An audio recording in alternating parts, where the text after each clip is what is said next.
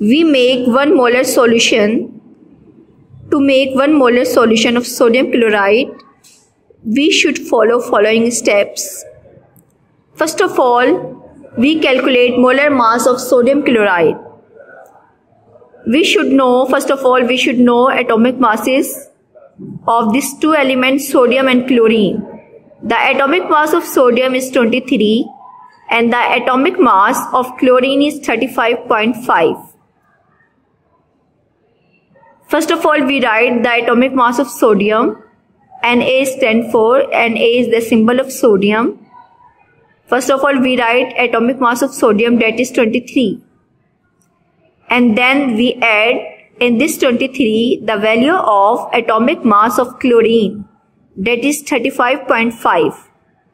We add these two value 23 and 35.5. Then we get total 58.5 gram per mole. Now, first of all, we weigh 58.5 gram of sodium chloride. Then we put this sodium chloride in volumetric flask. Then we add some water to dissolve this salt and prepare 1 dm cube of solution. Now, we solve one numericals of molarity. Now we solve first numerical of molarity that is 20 gram of salt is dissolved in water to make solution of 500 cm In this numerical, we calculate the molarity of that solution. The first step of numerical is called data. First of all, we make data. In data, we write all values that is mentioned in question. First value that is mentioned in question is mass of salt that is 20 gram. Then we write first mass of solute. Solute. In this case, solute is salt and first of all we write mass of solute that is 20 gram. Then we find molar mass of salt. We should know how can we find molar mass of salt. The formula of salt is NaCl first of all we write atomic masses of these two elements sodium and chlorine. The atomic mass of sodium is 23 and the atomic mass of chlorine is 35.5. Then we add 23 plus 35.5 and we get the total that is 58.5 gram per mole. Now, we write third value that is volume of solution is mentioned in given question. That is volume of solution is 500 cm cube. Then third value we write in data that is volume of solution is equal 500 cm cube. We calculate molarity in this case. The molarity in this case, we can find molarity with the help of following formula. Molarity is equal mass of solute divided by molar mass of the solute multiplied by 1000 First of all, we write formula of molarity that is mass of solute divided by molar mass of solute multiplied by 1000 and divided by volume of solution. Now, look at the formula. All the values is mentioned in the given data. First of all, we write the value of mass of solute that is present in data is 20 gram so we put the value of mass of solute in formula that is 20 gram.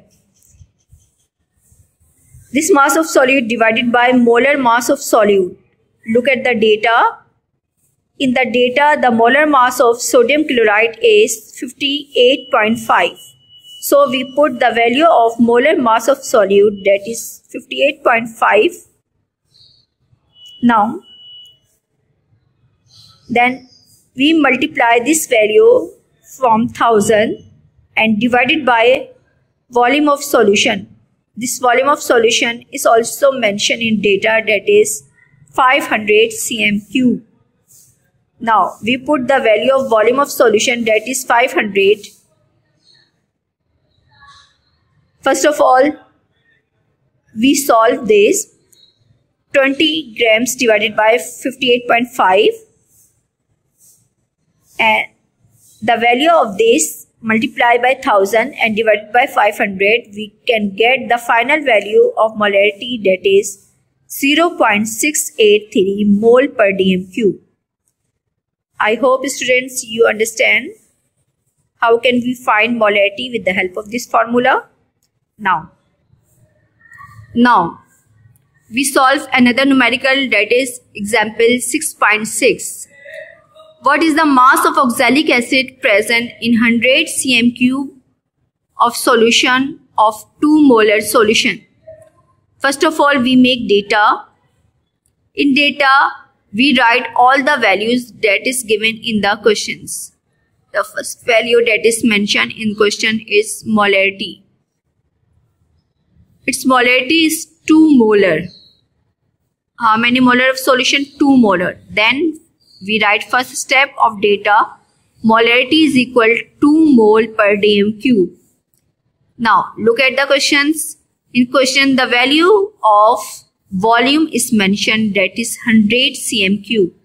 Now in second step we write the volume in cm cube that is 100 100 cm cube. Now we can find mass of oxalic acid. First of all, before solve this numerical, first of all, we can find molar mass of oxalic acid. First of all, we write the formula of oxalic acid that is C2H2O4. First of all, we should know students atomic masses of all these three elements that is mentioned in oxalic acid. The first element that is written in oxalic acid is carbon. The atomic mass of carbon is 12.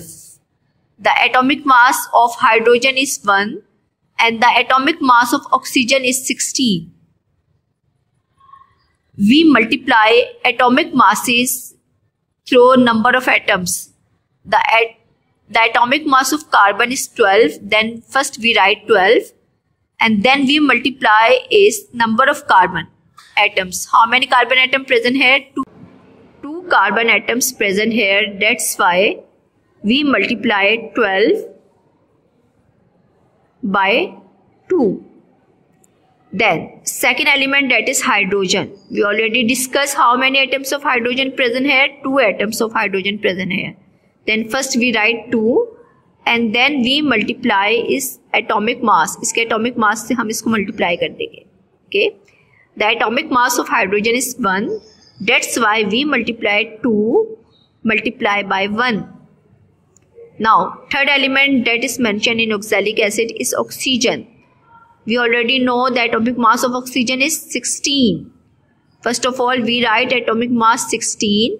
Then we multiply 8 number of oxygen atom. How many oxygen atom present here? 4 oxygen atom present here. Then we multiply 16 16 multiplied by 4. Now 12 multiplied by 2 is equal to 24. 2 multiplied by 1 is equal to 2 and 16 multiplied by 4 is equal to 64. Then we add all these values so we have given answer 90 gram per mole. Now look at this question. In this question we find mass of oxalic acid. क्या find out करना है? हमने mass of oxalic acid we can find with the help of this formula of molarity first of all we write formula of molarity molarity is equal mass of solute divided by molar mass of solute multiply by thousand and divided by volume of solution now we put all the values which is present in data in the formula. The molarity present in data is 2. 2 mole per dm cube. So we put the value of molarity 2. then we put the value of mass of solute mass of solute क्या है यहाँ पे mass of solute यहाँ पे we calculate it that's why we write it, it as it is form mass of solute written in then below the mass of solute write molar mass of the solute. Look at the above step. We can find molar mass of solute. The value of is 90 gram. So we put the molar mass of solute that is 90 gram. Then multiply by 1000 and divided by 100 the volume of solution is 100 that's why we put the value of volume of solution is 100 then we find mass of solute that's why this two